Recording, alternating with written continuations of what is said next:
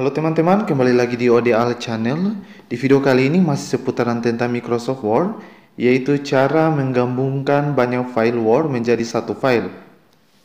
Di sini saya sudah memiliki beberapa file yang akan digabungkan menjadi satu file, terdiri dari bab 1, bab 2, bab 3, bab 4, dan bab 5. Jadi saya akan menggabungkan file ini di mana file ini adalah file skripsi yang telah saya buat.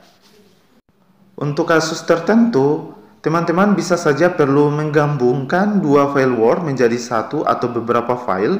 Hal ini biasanya terjadi ketika teman-teman sedang membuat tugas akhir, tugas kuliah, tugas sekolah, pekerjaan kantor, atau pekerjaan yang menggunakan bagian bab di tiap penulisannya. Apabila ingin menggabungkan beberapa file menjadi satu file Word, siapa saja bisa mencobanya dengan cara copy paste dari masing-masing file. Menggabungkan file Word satu persatu dengan cara copy dan paste akan sangat merepotkan dan bisa memakan waktu lama. Hanya saja, cara tersebut bisa menjadi kurang praktis dan tidak jarang akan bermasalah dengan format tulisan yang sudah ditata. Tahukah teman-teman, ada cara mudah yang bisa membantu menggabungkan beberapa dokumen menjadi satu. Di sini saya akan memberikan dua cara untuk menggabungkan beberapa file menjadi satu. Yang pertama, cara menggabungkan file Word dengan Word. Yang pertama, buka dokumen pertama atau dokumen tujuan tempat akan digabungkan semua dokumen. Saya buka bab 1. Lalu tentukan di mana teman-teman ingin meletakkan sisipan dokumen Lalu posisikan kursor di sana. Jika penggabungan dokumen Word ingin ditempatkan di halaman baru, klik Pack Break pada menu Insert. Seperti ini. Selanjutnya kita masih berada di menu Insert. Teman-teman klik tanda drop down yang berbentuk segitiga kecil di sebelah tombol objek Nanti akan muncul dua pilihan, teman-teman tinggal memilih test form file untuk menyiapkan dokumen Word dari file lain. Kemudian teman-teman cari file yang ingin digabungkan ke file pertama. Ini saya mau gabungkan bab 2, lalu kita klik insert. Oke, bisa dilihat file dokumen kedua sudah digabungkan ke file dokumen pertama. Untuk teman-teman menggabungkan file yang lain, teman-teman hanya perlu mengulangi langkah-langkah seperti tadi, untuk bab 3 sama dengan penggabungan bab 2, tinggal kita arahkan kursor di akhir tulisan. Jika penggabungan dokumen Word ingin ditempatkan di halaman baru, klik Pack Break pada menu Insert. Lalu, klik tanda berbentuk segitiga kecil di sebelah objek. Kemudian, klik Text from File. Lalu pilih bab 3, lalu Insert. Secara otomatis, file untuk bab 3 sudah tergabung. Untuk penggabungan bab 4, bab 5, dan bab seterusnya itu untuk caranya sama dengan penggabungan bab 2 dengan cara penggabungan bab 3 itu semuanya sama.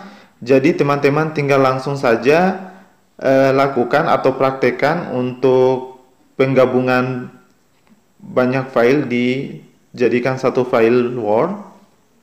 Di sini saya sudah menggabungkan dalam satu file ada 5 bab, bab 1, bab 2, bab 3, bab 4 sampai bab 5. Setelah semua file dokumen digabungkan di satu file baru, selanjutnya kita akan menyimpannya. Untuk menyimpan, klik file, lalu pilih save as untuk menyimpan dokumen di folder. Lalu kita beri nama foldernya. Setelah kita beri nama folder, kita klik OK. Filenya langsung Oke, itulah cara pertama untuk menggabungkan file Word. Untuk cara kedua, menggabungkan kumpulan file Word menjadi satu. Perbedaan cara pertama dan kedua adalah di cara kedua kita mulai dari lembar ke dokumen baru di Word. Di sini saya sudah membuka lembar kerja baru. Selanjutnya kita mengatur untuk margin kanan kiri.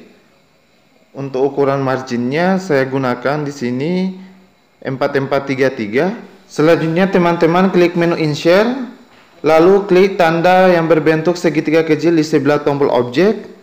Akan muncul dua pilihan. Teman-teman pilih text from file. Selanjutnya teman-teman pilih file dokumen yang akan disatukan sambil menekan shift jika posisi file berurutan. Atau kalian bisa blok file-file apa saja yang ingin kalian gabungkan. Setelah itu kalian klik insert. Maka secara otomatis dokumen akan disisipkan di lembar kerja sesuai urutan saat memilih.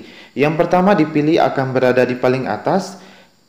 Jika teman-teman mendapatkan tampilan dokumen saat telah digabungkan menjadi berubah, silakan rapikan dokumen kalian. Apabila sudah dirapikan, tinggal teman-teman saja menyimpan dokumennya dengan cara ketik menu file lalu save as lalu beri nama filenya, lalu oke. Oke, untuk cara yang kedua sudah selesai. Itulah cara menggabungkan file Word menggunakan dua cara. Tinggal dipilih yang paling memudahkan pekerjaan teman-teman sekaligus dapat memangkas waktu pekerjaannya. Selamat mencoba. Semoga tutorial ini bisa membantu. Terima kasih sudah menonton sampai habis. Kalau teman-teman punya pertanyaan, tanggapan, atau hal lainnya, silahkan kalian tulis di kolom komentar yang ada di bawah. Like video ini apabila kalian suka, subscribe juga terus. Sampai jumpa di video saya selanjutnya.